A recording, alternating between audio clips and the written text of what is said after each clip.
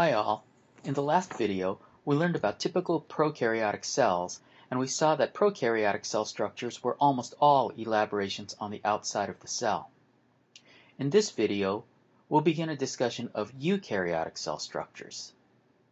In this picture, we see a typical animal cell with its various structures on the left, and a plant cell with most of those animal structures plus a few additional structures in green boxes on the right. From Chapter 3, Video 2, we saw that surface area to volume ratio decreases as the objects get larger, and that this limits the size that prokaryotic cells can achieve. We also saw that eukaryotic cells are tens to hundreds of times bigger than prokaryotic cells. How do eukaryotic cells get so large? Well, all the structures with red M symbols are membrane-bound organelles. An organelle is a cellular component that performs a specialized function. A membrane-bound organelle is an organelle whose outer boundary is made of membrane. Eukaryotic cells contain lots of different types of membrane-bound organelles. These membrane-bound organelles represent internal surface to add to the total surface area of the cell. With lots of internal surface area, the cell can get larger while still providing sufficient resources to serve all areas throughout the volume of the cell.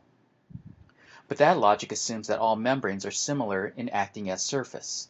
Let's take a look at membranes. Cellular membranes, that is, all the membranes of the cell, the plasma membrane on the outside of the cell, the nuclear membrane, and the membranes of all the other membrane-bound organelles, are made of phospholipids and proteins.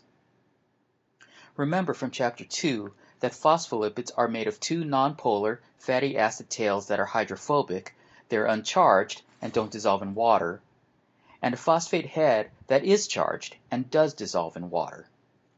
Phospholipids therefore have a dual nature, part very water soluble and part very water insoluble. If phospholipids are dumped into a bucket, the water molecules become attracted to the, attracted to the charged phosphate heads and push the phospholipids around. The fatty acid tails all get pushed out of the way and this causes the phospholipids to organize into little water-filled balls sitting in the bucket of water. Imagine one of these phospholipid balls. If you ran your hand, or a red circle, on the outer surface of the ball, you'd be running your hand over phosphate heads. And if you were able to stick your hand into the ball and you ran your hand, or another red circle, over the inner surface of the ball, you'd be running your hands over phosphate heads as well. Both the outer and inner surfaces of the ball would be phosphate heads. The fatty acid tails of all of those phospholipids would make up the middle portion of the ball material. We call the ball material a phospholipid bilayer because it is formed from two layers of phospholipids. let's look at how this enables the communication of materials within cells. Imagine the cell in this drawing has a protein shown in green, uh, uh, embedded in the membrane of the rough endoplasmic reticulum. The phospholipid material around that protein, highlighted in yellow, can pinch off to become a vesicle. That vesicle travels to the Golgi apparatus and melds with the Golgi apparatus, like lava lamp globules meld together. The protein travels along the Golgi membrane like a boat moving through water. Perhaps it gets modified along the way. The Golgi membrane around the protein, highlighted in blue, then breaks off as a vesicle. The vesicle then travels to and melds with the plasma membrane and becomes part of the plasma membrane.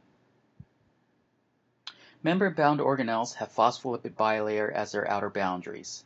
That phospholipid bilayer is fluid, no matter which membrane-bound organelle we're considering.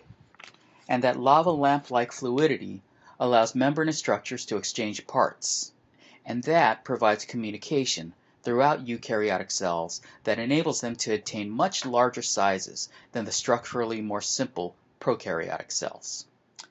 In the next video, we'll examine other molecular transport mechan mechanisms involving the plasma membrane.